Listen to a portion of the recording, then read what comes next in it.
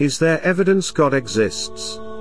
Yes. Allah has sent down miracles, revelations, and messengers to give clear proofs He exists and, more importantly, what we should do once we come to this realization. Allah has sent prophets and messengers with many proofs throughout the ages for people to see with their own eyes clearly and use their senses the miracles and evidence pointing to the fact that Allah does exist. Miracles of prophets and messengers of Allah have come to people through the ages. Moses, peace be upon him, showed many blessings to the Pharaoh and the children of Israel.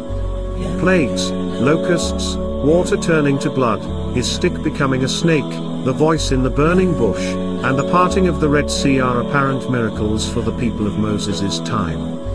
Again, Allah sent Jesus, the son of Mary, peace be upon him, with apparent miracles for the people of his time. Speaking from the cradle while still a newborn infant, creating birds from clay, curing the sick, giving sight to the blind, and even bringing a dead man back to life, were all clear signs to the people to know Jesus, peace be upon him, was a messenger of Allah as was Moses before him. Muhammad, peace be upon him, was Allah's last and final messenger, and he was sent to all of humankind. Allah sent him with several miracles, not the least of which was the Quran. The predictions and prophecies of Muhammad, peace be upon him, have come true even in this century, and the Quran has been used to convince even scientists of the existence of Allah.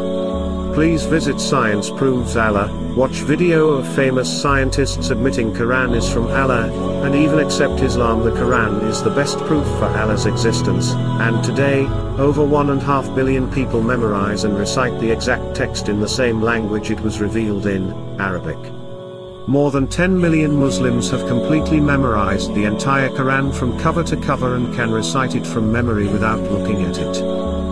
No one sees or hears Allah, not even the Prophet Muhammad. We cannot use our senses to make contact with him. However, we are encouraged to recognize that this entire universe could not possibly come into existence independently. Something had to design it all and then put it into motion. This is beyond our ability to do, yet we can understand it. We know from the teachings of Muhammad, peace be upon him, the proofs for the existence of God, Allah, are most apparent to us in our everyday surroundings. Anyone with understanding would quickly acknowledge his presence provided they are not so stubborn to ignore the obvious evidence right in front of us. We don't have to see an artist recognize a painting, correct? So, if we see photographs without seeing artists painting them, in the same way, we can believe Allah created everything without having to see Him, or touch, or hear, etc.